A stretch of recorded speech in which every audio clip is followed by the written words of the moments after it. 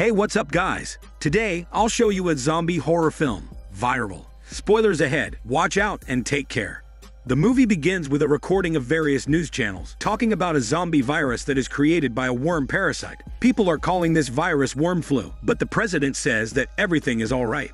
Now we move to a college setting where a girl named Emma is spying on a couple tongue massaging each other. She is suddenly interrupted by her friend Curly, who thinks she's being a creep. Emma denies staring at the couple, and then she is greeted by her crush, Evan. Curly tells Emma to wear revealing clothes if she wants Evan to notice her more often.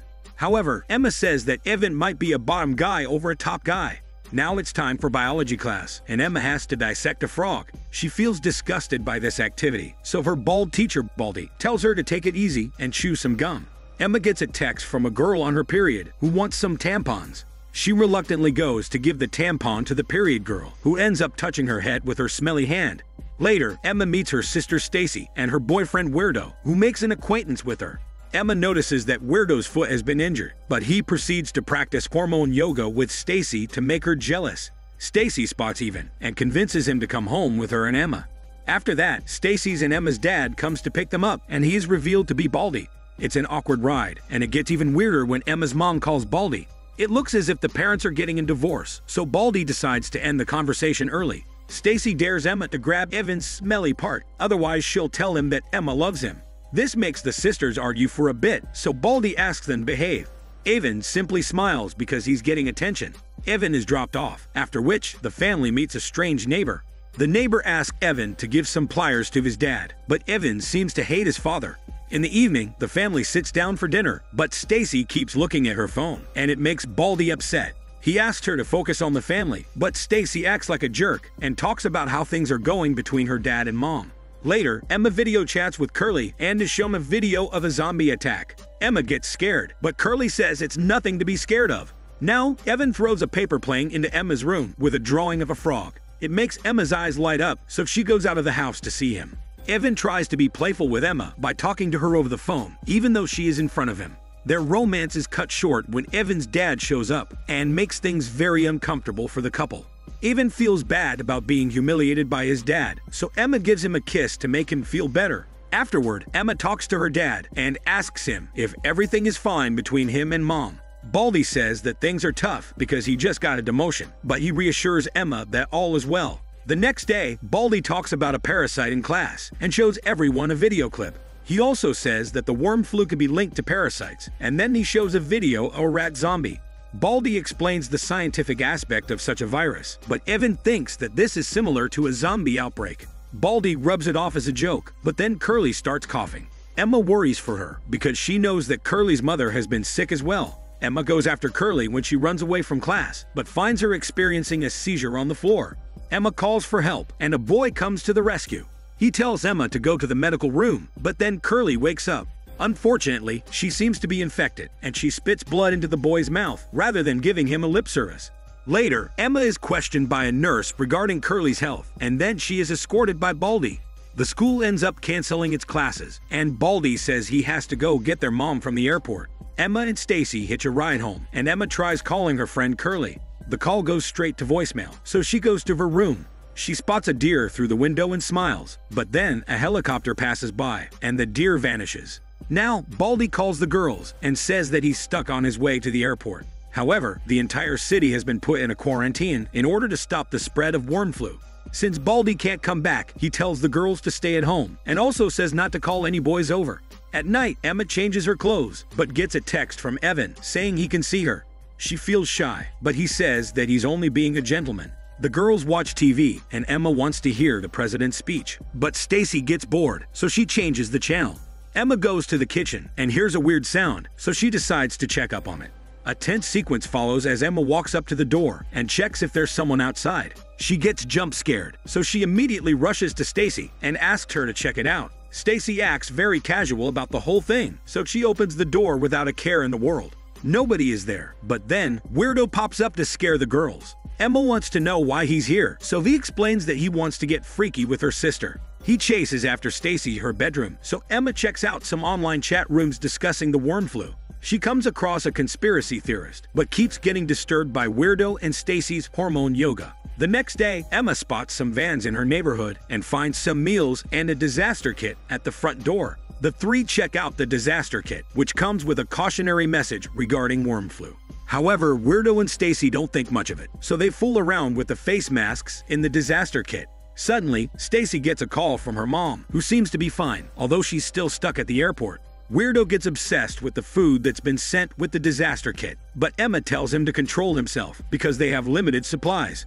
Now, Stacy shows up and says that she's going to a house party even though there's a curfew. Emma finds out that Stacy has also invited Evan to the party, so she tags along reluctantly. At the party, Emma and Evan flirt with each other, but Weirdo goes missing, so Stacy goes looking for him. Emma and Evan decide to get a room together, but run into another couple in the middle of their hormone yoga. They eventually find a bathtub where they can chill together, and Evan tells Emma that he likes her. They're about to tongue massage each other, but get disturbed by Stacy, who is fighting with the couple they ran into earlier. It turns out to be Weirdo, who was cheating on Stacy. As Emma tries to console her sister, one of the students turns into a zombie and starts violently attacking everyone. The sisters hide inside a room and peep out of the window to see what's going on. They spot a student getting killed by the zombie, so they try to be as quiet as they can. The girls start walking out of the room, but knock over a bottle that alerts the zombie. Suddenly, the zombie attacks the sexy girls and spits blood into Stacy's face rather than harassing her body. The zombie goes for the sexy Emma next, but Evan manages to kill him just in time. The zombie parasite sneaks into Stacy's eye, but she doesn't tell Emma about it. Later, Stacy tries to wash the blood away, and Emma learns that the zombie apocalypse is spreading all over the world. The next day, some army scientists show up to scan the girls for the zombie virus. They are asked if they were in contact with a zombie recently, but Stacy denies it. The girls try to call their parents and eventually get in touch with their father. Baldy orders the girls to lock the doors and windows, after which he also tells Stacy to find his gun. The call gets cut, and then we learn that the Chinese government has started bombing areas with infected zombies. Suddenly, there's a news alert where the president declares martial law. The girls search for Baldy's bald gun, but Emma finds her mom's wedding ring, so she wants to know what's going on between their parents. However, Stacy tells her to relax because there's nothing to talk about. At night, Emma tries texting Baldy, but her messages can't be sent because of no network. The girls spot their neighbor asking the military to look at his sick wife, but the military forcefully takes her away and threatens the neighbor. Sensing imminent danger, the girls decide to get into their car and leave. Emma goes to Evan's house and tries to call him, but his dad shuts the windows to his house. The girls try to escape in their car, but are stopped by some soldiers. Stacy doesn't listen and tries to talk to the soldiers, but she gets threatened. Luckily, another car shows up, so the soldiers get distracted, thus allowing the girls to go back home. Stacy's infection grows worse, and now the government passes an order, making it illegal to harbor an infected human. Stacy notices an ugly mole growing on her neck, so she tries to pop it with a pin, but it's of no use. At night, the girls sit down for dinner, and then Stacy finally tells Emma that their dad cheated on their mom with one of his students. Emma gets emotional, but Stacy starts to cough aggressively. Suddenly, Evan shows up begging to be let inside, so Emma opens the door, much to Stacy's dismay. It turns out that Evan's dad is now a zombie, and he's chasing after Evan. Everyone wears their masks and tries to be quiet, but they get jump scared when Evan's zombie dad breaks into the house. He slowly approaches Emma with his ugly parasite antennae, but Stacy shows up and shoots him down with her gun. However, she also starts turning into a zombie and coughs up some blood. Emma locks her sister inside the bathroom and discusses a solution with Evan. They decide to trick the army into thinking that everyone is dead in their house by spraying on the wall that there are no survivors there. After that, Emma goes to her sister, who is feeling uncontrollably hungry. She tells Emma to leave while she still can, but Emma says that she's not going to be up on her. Now, Emma does some research on the parasite and figures out she should try to remove it from Stacy. As she sits on the roof, Evan shows up and tries to console her using his muscles, but Emma says she can't leave her sister alone.